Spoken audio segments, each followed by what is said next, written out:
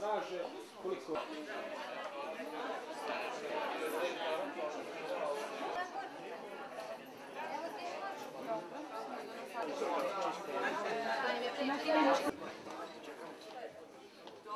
Sindikat nezavisnosti, samostalni sindikat u gradskoj upravi grada Nova Pazara, održava štrajk upozorenja jednog sata.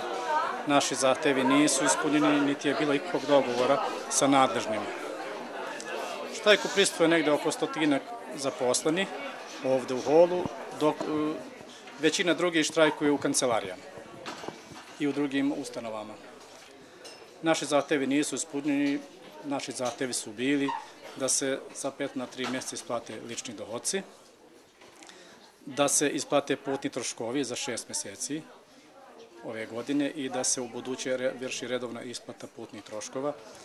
Zatim, naš zahtev je bio isto da se koeficijenat za postanje sa visokom stručnom spremom uskladi sa uredbom vlade Republike Srbije.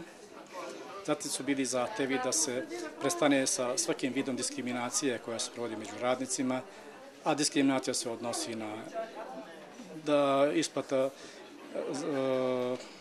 ličnih dohodaka, jednima se isplaćuje prvoga, nekima 15, nekima 20, tako dalje. Zatim, kod diskriminacija takođe, vrši se nagrađivanje jednih te istih radnika.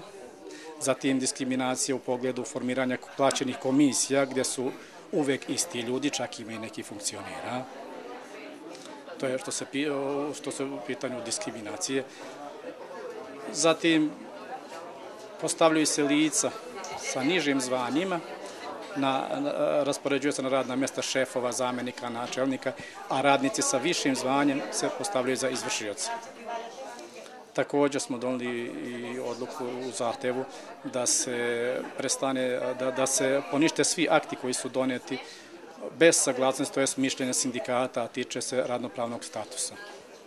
Mogu samo da kažem da je u petak uplaćena zarada za oktobr mesec i da je to dobro pošlo, a šta će dalje da bude vidjet